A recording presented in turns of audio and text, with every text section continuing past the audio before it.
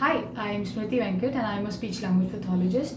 I have been working in Hamsa Rehab for the past year and I'm just here to share my experience of the past year. I actually came uh, to Kauvery looking for an internship and to le- learn and know more about neurological uh, medical management. And I ended up getting a job in um, Hamsa which is a rehabilitation center. And uh, as I look back today the year has been an amazing journey.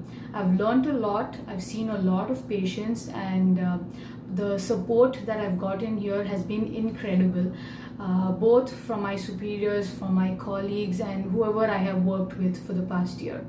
I would start by saying thank you to Dr. Bala who provided me with this opportunity.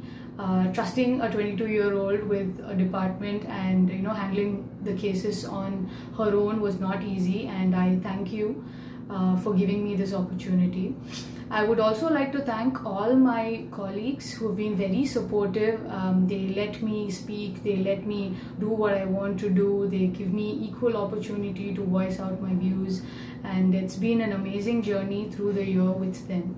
Um, to all my patients, um, I hope I gave uh, good care, good justice to all of you, and um, all of you can contact me anytime if there's an um, issue, and I'm sure uh, Hamsa would be supportive of that. So um, I wish Hamsa all the best for the future. I know that we're going to reach great heights, and by the time I come back, maybe I would um, join one of uh, our institutes again.